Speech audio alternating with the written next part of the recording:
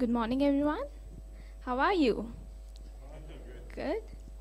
We have had so many amazing talks since yesterday, so many great talks. I have actually been blown away by the entire thing. And it's most of them have been in French, but still it's been an amazing experience being here. So thank you for having me here. And to introduce myself, I'm Ipsha Bhidonia, and I'm in my final year of computer engineering in uh, Delhi University. I'm from India, and I've had some of the most amazing year, months. Last couple of months, they have been amazing, and I landed up with an internship at Mozilla this year. I interned with Mozilla in the summer of 2016 as an Outreachy intern. And for those of you who don't know what Outreachy is, Outreachy is a mentored program. It offers three years, uh, three months, sorry, three months internship in various open source organizations. So we have organizations like Mozilla and OpenStack and Wikimedia, and each organization has various projects. So my project was related to something that I'm going to speak about today, which is web push notifications.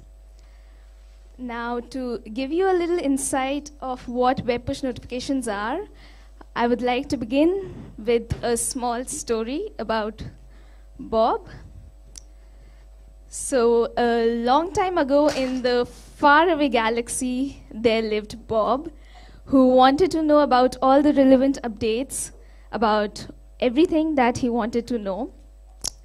And he knew that such a technology already existed in mobile apps, and he wondered if he could get such an opportunity on websites. So he wondered if there's anything that he could do to get notifications on, on the web page. Okay. So he wondered if there's anything there for which if a mobile app doesn't exist, your business doesn't have a mobile app, and you still want to engage with the user, can you do that? So he surfed the internet, and one day when he, while surfing the internet, he came across this magical click button that says, allow notifications from the website.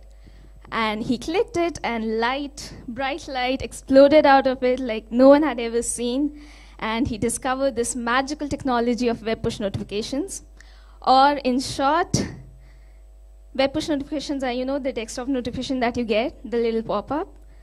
So, that is what web push notification is. Now, so I was really excited to begin with my project as an Outreachy intern, and I was also really excited because I got an opportunity to visit London to attend the Mozilla All Hands Meet, where I was supposed to meet my entire team. And naturally, I was really excited, but also very, very scared to meet them all because I was just beginning out and I had to meet all these experts in this field, and it was so intimidating until I finally met them. Because when I met them, I realized that they were actually the nicest and the sweetest person I have ever met, and really fun. So fun. So, this is the team that I worked with, and I was so excited about getting started. so, I thought I'd learn a lot of things about programming and coding, but little did I know that I will not only learn coding, but a lot more. Sure, I did learn some great coding skills. I learned how to collaborate with people and I learned how to write good tests. But I also learned how to communicate to people whose first language is not the same as mine. I, I learned how to play coding games. I learned a lot, many things, but the most important thing that I think I learned is to understand why you do what you do like my mentor Remy, he always encouraged me to not only understand the code but the concept behind it.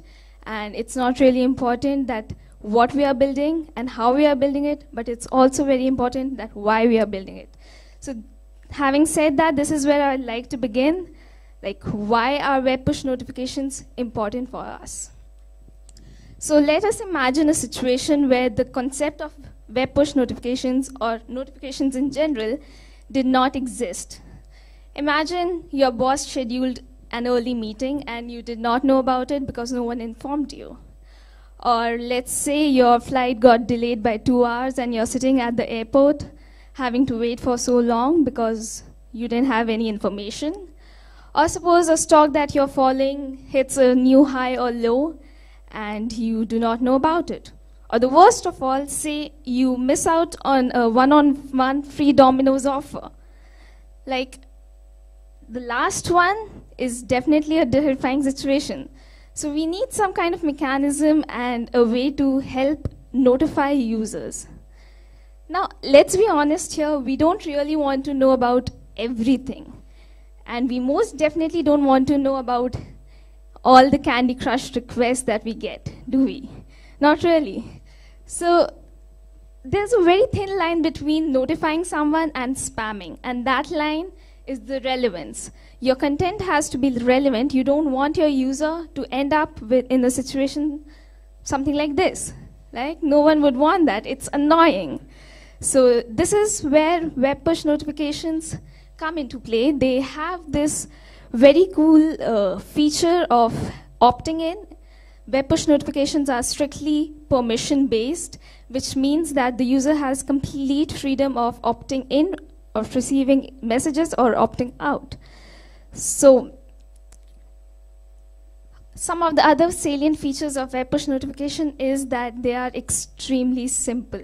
The simplicity of web push notification is what I think is one of the amazing features of it. The user don't have to sign up anywhere, they don't have to download or install anything. They don't have to provide their email ID. They just have to click one button that says allow notifications. So this is something that many of us would be up for, like when we don't have to actually give away our email ID. And the third thing is that it can offer you um, web push notifications even when your website is not like when you're not on the web page, if the browser is not even open, you can have push notifications. You don't even need to have your computer on. Like if it's suppose asleep, whenever you switch on your computer, you'll get the notifications. So it has all these amazing features and it has so many use cases because of these.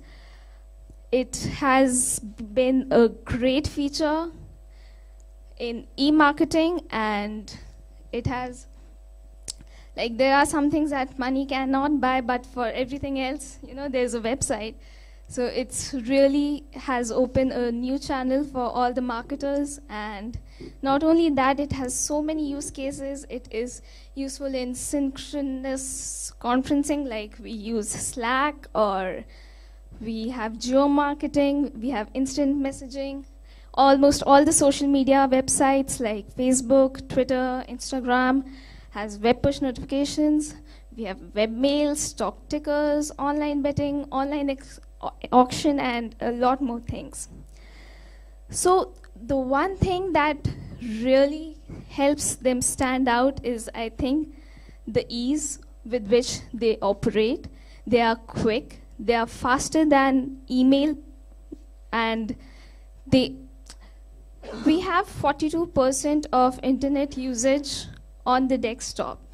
Like, it's true that we love our mobile phones and it's very convenient to get notifications on mobile phones, but, and it's probably the first thing that most of us do when we wake up in the morning, check our mobile. But when we enter our office or our workplace, we spend most of our time in front of our desktops, right? So this helps us to get in touch with those users that spend most of the time on a desktop. And it's not really just the desktop, it's mainly the browser. So if you have a web page or your browser open on your mobile phones, you can have web push notifications there as well. You can have it on tablets. But what is important is you need a browser. So now that we have seen why web push is important and where all can we use it, let us see what exactly are web push notifications.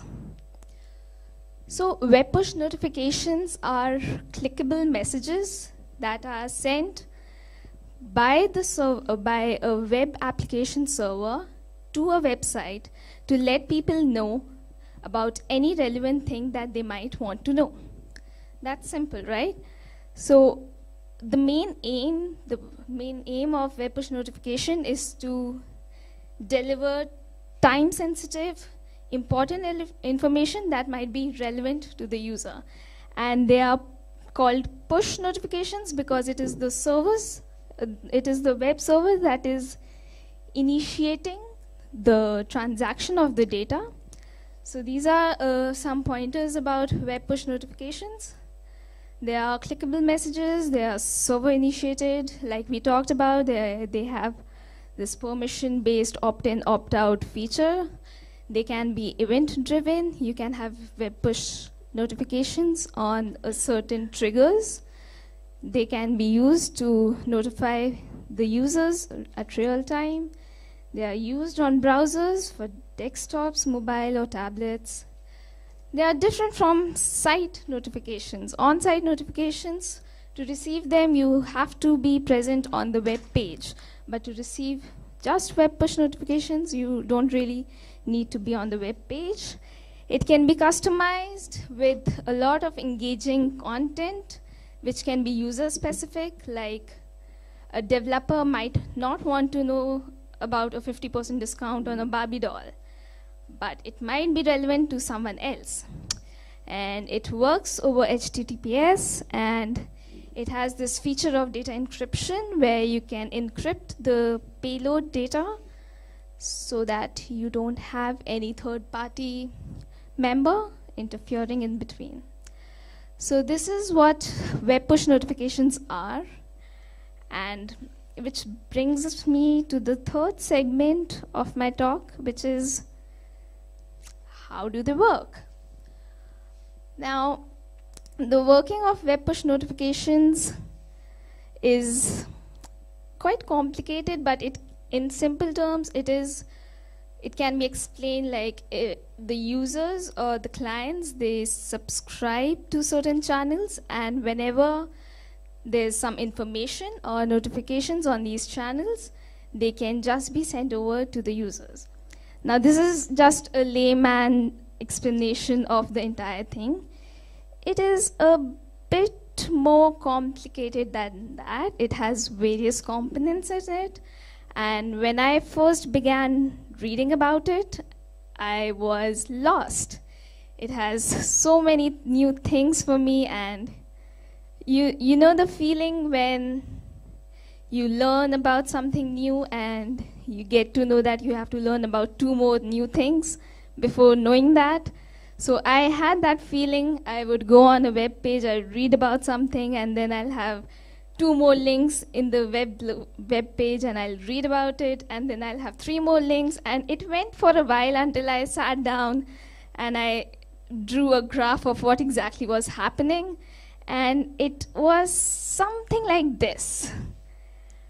And it was really scary. So I needed to sort this out. So I sat down and I thought I'd look at it one component at a time. So to start with, web push notifications are built on service workers. Service workers are basically scripts that are run by the browser in the background for features that don't require a web page or user interaction. Service workers are really powerful. They are used to, as you might know, intercept network requests.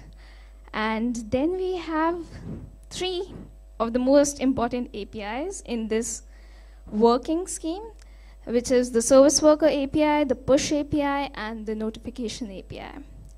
So the service worker API enables user to subscribe, unsubscribe, or receive messages. Push API handles push messages when it arrives.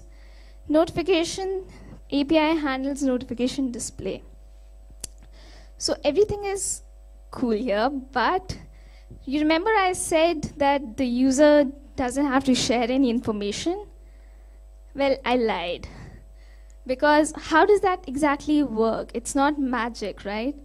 We are not in Hogwarts. We don't have Harry Potter's owl to deliver the message. We need to know something about the user so that we can send the right information to the right user. So, what is it? Well, we have to first subscribe to get the notifications.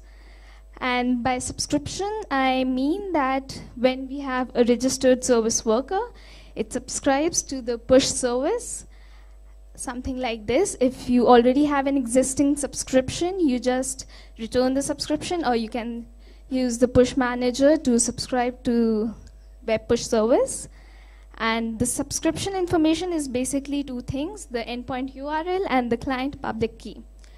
So, the endpoint URL is basically a capability URL where the push messages are delivered, routed to be routed to the correct client, and client public key is the key which is used to encrypt the payload data that is included with the push message, which is pretty smart because that way only the client can decrypt the message and know about it. So let's see at the working model of this entire thing. So what happens here is that we first subscribe to the web push servers and we fetch the endpoint URL from there. We send the subscription information that is the endpoint URL and the client's public key to the website app server. Now, whenever there are some uh, information to be delivered or notifications or triggers, the website app server just calls the endpoint URL and the web push server then redirects the push notification to the correct WebSocket of the client. So this how this is how the entire thing works.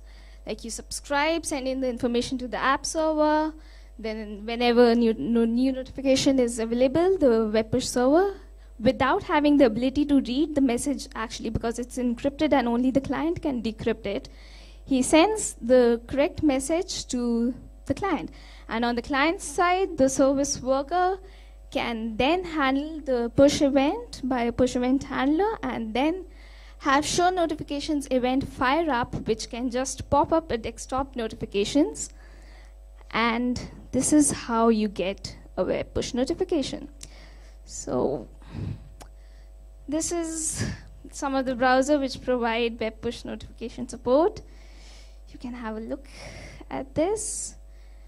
And this will bring me to the end of my talk. So keep pushing and uh, I will not be taking any questions, but if uh, anyone has any doubts or would like to talk about web push notifications or anything in general, I'm here all day around. So I'd love to talk to you. And until then, have a nice day. Thank you very much.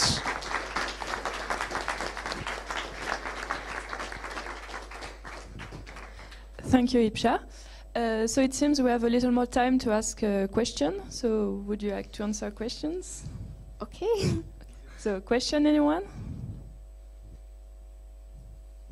Yeah? Please.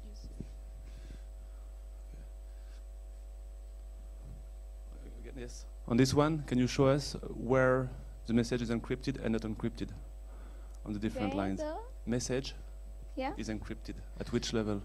So the message is encrypted when we send the client key and the endpoint to the website uh, app server.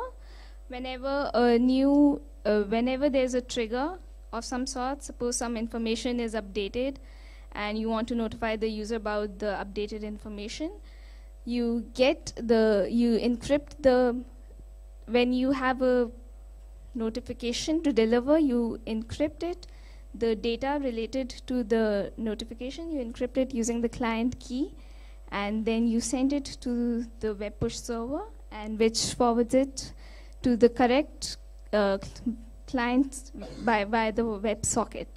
Okay. So it's So in case of IoT, Internet of Things, imagine that the website is your own server at home, for example.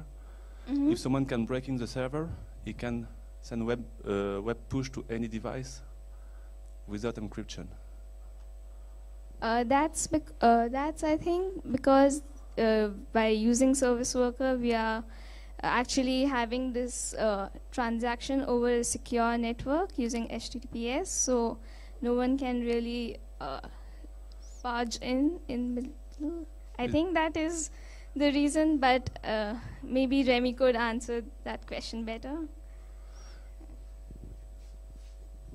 Yes, so the, the encryption key is sent to the web app server, and then the, the website app server is responsible to encrypt the, to encrypt the payload. But uh, yes, if you have access to the website server, you can deliver a message. Yes.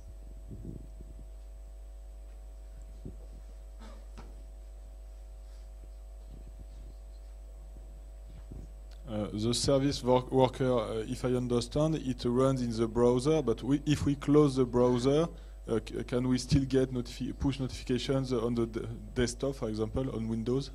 Uh, yes, we can still get the web push notifications even if we close the browser because service workers are scripts that run uh, in the background and they are basically used for these kind of things like to have an offline website experience and so yes we can use it that way and it works just fine Question, anyone? Is there any alternative to GCM and APNS for, uh, I mean, open source uh, web service uh, for push notification you can install on your own cloud or on a private cloud? the way mozilla does it yeah we do have that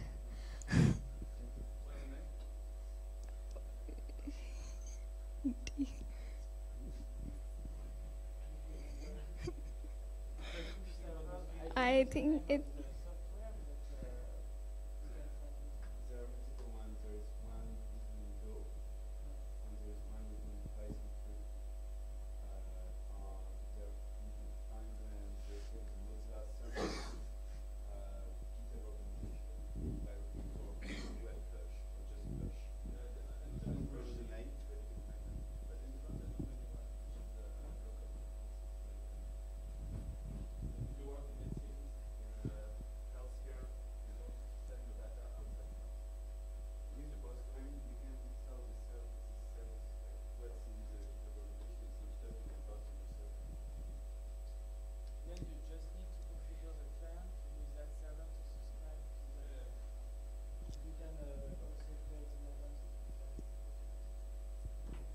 Okay, so maybe you can discuss that uh, later all together. Uh, has anyone, somebody else, a question for Ipsha?